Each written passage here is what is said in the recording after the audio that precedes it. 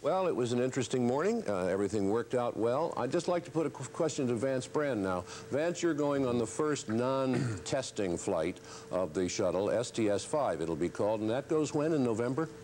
That's right, John. Uh, November 11th is the uh, current date. And what will you be carrying? It, it will be the first working flight. We will have two commercial satellites, communications satellites, purchased by two companies, one Canadian, one American, and uh, we're being used as a transportation system to get them into orbit. The Ace Trucking Company, as you say. Uh, again, the Ace Trucking Company, yeah. They, uh, and when you get up into orbit and you open the doors on the spacecraft, how do you get the satellites out? Do you kick them out? Well, of course, we could use the arm, but that won't be used in this case. Uh, they actually will be kicked out uh, by springs.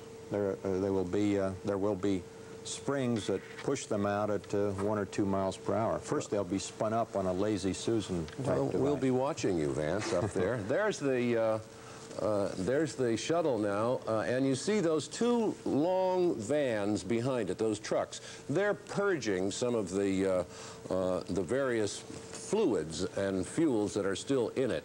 Uh, and you can also see the stairs up at the front, uh, and I presume by now that somebody has gone in there to see the astronauts. That concludes our coverage of STS-3, the three million mile flight of the Columbia ended successfully today. Sorry about Lloyd Dobyns.